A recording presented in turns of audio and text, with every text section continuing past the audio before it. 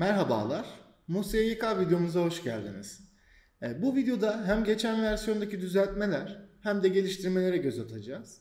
E, Geçen videomuzda bahsetmiştik, kullanıcılarımız muhtasar beyanname hazırlamayı biliyorlar. E, Bununla birlikte kısaca değinmiştik. E, Yine isterseniz MUSYK hazırlamak için zorunlu olan alanlara bakalım. E, Ve MUSYK beyannamesini hazırlayalım hem de değişiklikleri de görmüş olalım. E, Öncelikle MUSYK hazırlayabilmek için e, firma bilgilerinde firma adres bilgilerimizin dolu olması gerekiyor. E, boş bırakmak istediğimiz alanlar varsa tire koyarak geçebiliyoruz bu alanları. E, sağ tarafta muhtasar kutucuğu, üst tarafta da MUSYGK aylık 3 aylık işaretli olması gerekiyor. Faaliyet bilgileri bölümünde ise faaliyet kodu, tehlike sınıfı, faaliyet adı, yine kayıtlı olduğu ticaret sicil memurluğu, ticaret sicil numarası, iş yeri türü, iş yeri kodu ve iş yeri mülkiyet durumunun dolu olması gerekiyor. MUSYGK hazırlarken e, beyanname hazırla butonu ile beyannamemizi hazırlayabiliyoruz. E, Burada dikkat çekmek istediğim nokta şu. Matrah ve vergi bildirimi kısmında kira ödeme bilgilerini defter kayıtlarından al, muhasebe ödeme bilgilerini defter kayıtlarından al ya da kira sayfasından al ve serbest meslek sayfasından al kutucukları var. E, Peki bu kutucuklar ne işe yarıyor? Yani kira sayfasından al ve serbest meslek sayfasından al kutucukları işaretli ise o zaman program ilgili modüllere yani serbest meslek makbuzu modülü ve kira entegrasyonu modülüne gidiyor. E, Buralarda ilgili ayda bir makbuz varsa bunları beyannameye getiriyor. Tahakkuk fişleri olmasa bile. Tahakkuk fişlerimiz varsa beyannameyi hazırla dediğimizde defter kayıtlarından al kutucuğu işaretli ise ve kod tablomuzda ilgili tür kodlarının muhasebe kodları yazıyorsa ki 770 03 060 kira giderleri için yazmışız. 770 03 050'de SMM giderleri için yazmışız. E, o zaman da bu hesap kodlarına gidiyor. İlgili aydaki işlemi çekiyor. Eklemek istediğimiz farklı bir tür kodu varsa klavyeden aşağı ok tuşuyla bir satır açıyoruz. F1'e bastığımızda muhtasar tür kodu e, sayfasına geliyor. Bu sayfada eklemek istediğimiz tür kodunun karşılığına stopaj oranını yazıyoruz. Ve yine bu alanda e, örnek veriyorum 053 770 04 010 e, hesap kodundan bu bilgileri çek diyebiliyoruz. Birden fazla hesap kodu kullanıyorsak yine sağ tarafa doğru bu hesap kodlarını tanımlayabiliyoruz. Şimdi isterseniz bir beyanname hazırlayalım. Ağustos ayı. Beyanname hazırla. Örnek için e, kira bilgilerini kira sayfasından, muhasebe ödemelerini de defter kayıtlarından al kutucuğunu işaretledim.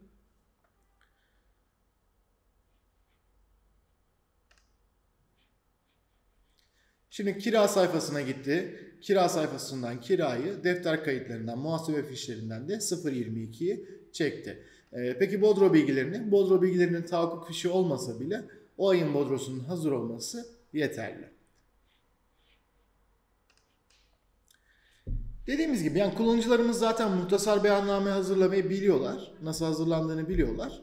Ee, ama yine de kısaca bir değinmiş olduk. Ee, peki MUSYGK'da ne değişti? MUSYGK'da SGK bildirimleri sekmesi eklenmiş oldu. Peki nedir SGK bildirimleri sekmesi? Daha önce bildirge ile gönderdiğimiz Bodro bilgilerini artık muhtasar beyannamenin içinde MUSYGK olarak gönderiyoruz. Bu bilgileri de yine Bodro modülünde personellerin ilgili ayın Bodroları hazır olduğu için otomatik çekmiş oldu. Muhtasar beyanname hazırlama bu şekilde. E, fakat bir değişiklik yapacaksak yani bir düzeltme beyannamesi veriyorsak ne yapmamız gerekiyor? Örneğin matrah ve vergi bildirimi kısmında bir düzeltme yaptığımızı varsayalım. 0.22'de bir düzeltme yapıyorsak ilgili değişikliklerimizi yapıyoruz. SGK bildirimleri kısmında da bu kutucuğu işaretliyoruz ve e, beyannamemizi tekrar oluşturup gönderiyoruz. Peki SGK bildirimleri kısmında bir düzeltme vereceksem ne yapmam lazım? O zaman da personelleri düzenle butonuna basıyorum. Tümünü seçiyorum. Seçilenleri kopyalıyorum. İptal edeceklerimi seçiyorum. İptal deyip seçilenlere belge mahiyetine uygula diyorum. Tersini seç diyorum. Diğerlerine de ek uyguluyorum. Aktar dediğimde bütün personellerimi iptal ve ek olarak getirmiş oldu. Ya bütün personellerde düzeltme değil de bir personelde ya da birkaç personelde düzeltme yapacaksam ne yapmam lazım? O zaman da örneğin bunları seçiyorum. Seçilenleri sil dedim. Yine seçilenleri kopyaladım. Ek seçtim. Uygula dedim ve aktar dedim.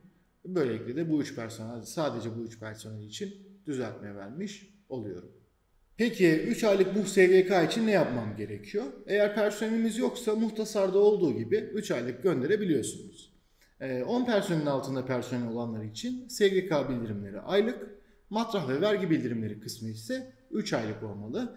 Bunun için firma bilgileri sayfasında, buradan firma bilgilerine tekrar gelelim. Firma bilgileri sayfasında vergi 3 aylık diye bir kutucuk var. Bu kutucuğu işaretliyorsunuz.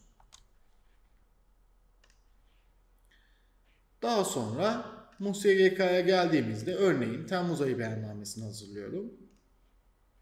Yani Temmuz, Ağustos, Eylül 3 aylık vermiş oluyoruz.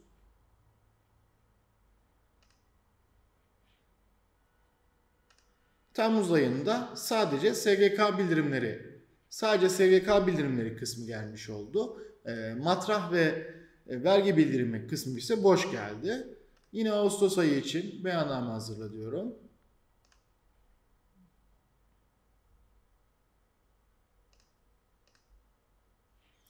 Yine matrah ve vergi bildirimi kısmı boş. E, SGK bildirimleri sekmesi e, ilgili ayın bodroları gelmiş oldu. Eylül ayına geldiğimizde ise beyanname hazırla diyorum.